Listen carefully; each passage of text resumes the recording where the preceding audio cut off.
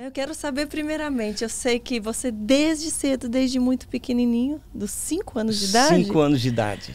começou a pregar. Foi. Como pode? Como foi, pastor? Foi assim. Cinco anos de idade.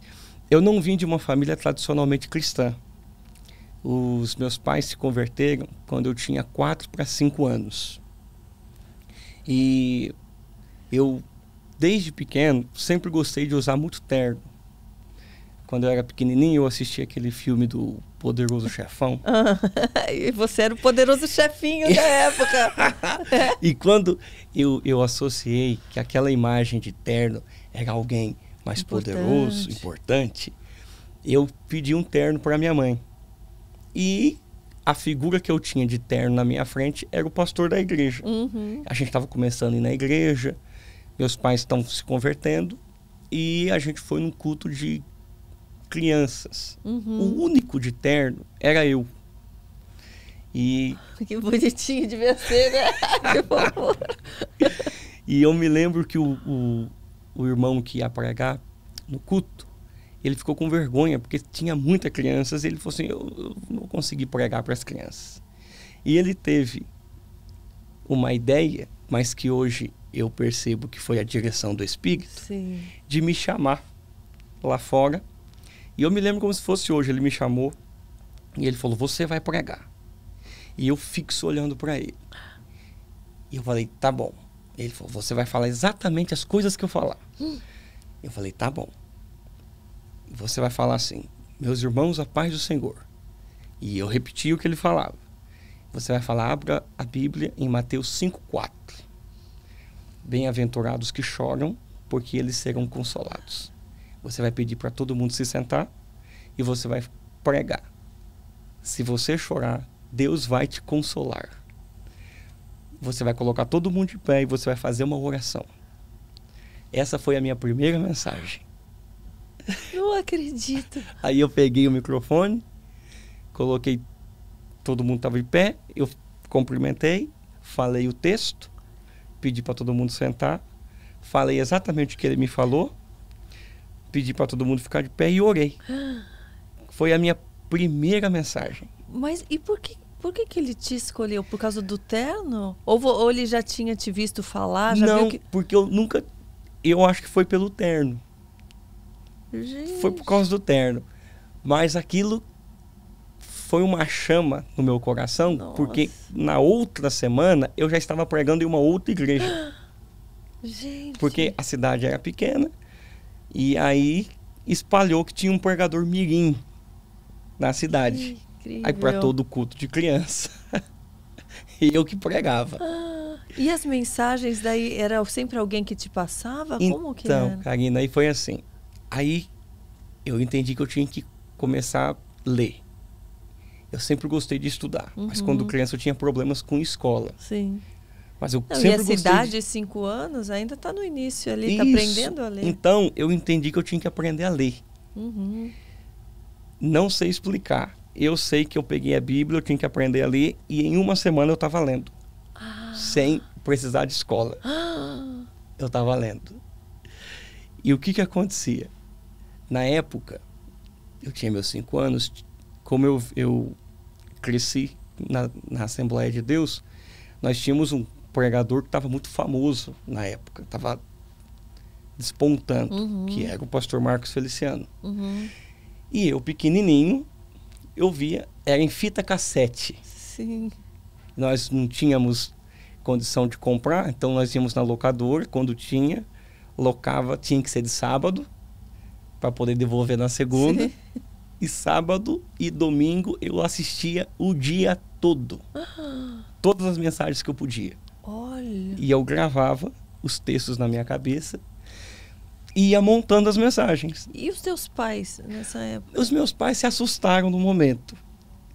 Mas também era novo, porque como não veio, nós não éramos uma família tradicionalmente cristã, também era novo. Uhum. Minha mãe nunca foi de querer forçar, Sim. mas também não entendia. Até hoje minha mãe fala que às vezes ela me fez sofrer, porque às vezes, como a gente foi criado dentro de um sistema rígido, Uhum. então mesmo pequenininho, você tem que orar, você tem que Sim. jejuar, você tem que ler a Bíblia, porque agora você prega. Uhum. Mas eu também era uma criança. Sim. Por isso que eu acredito que se é chamado de Deus, deixe Deus fazer, porque eu acho que forçar uma situação é muito problemático para que não, não perca a fase. Sim, sim. né? E aí eu, eu fazia isso. Assistia e ia pregar. Mas não me, não me bastava assistir. Uhum. Eu queria montar as minhas mensagens. Sim. Eu queria interpretar os textos. Nossa, que lindo. E foi indo. Foi assim que começou a surgir. E tinha alguém que te auxiliava também? Ou era, ou era algo só entre você e Deus, realmente? É, assim, aí teve o meu primeiro pastor que me auxiliava assim, mas não, eu não tive. Eu não tive, foi mais autodidatismo, não tive ninguém.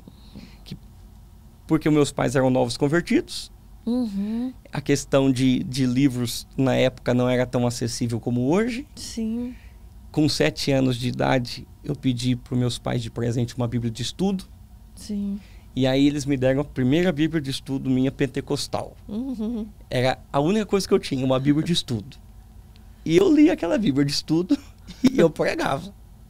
Se me perguntar como, a minha vida foi assim: lia e pregava, lia e pregava.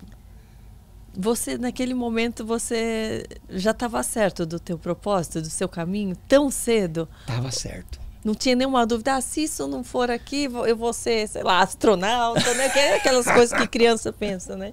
Não, Ou eu não? queria sim, eu queria ser eh, professor de faculdade. Mas ao mesmo tempo, queimava no meu coração essa minha chamada. Uhum. porque eu amava pregar, eu amo pregar. Eu não sabia e não sei fazer outra coisa a não ser pregar. Uhum. Até me lembro de um fato. Eu tinha oito para nove anos.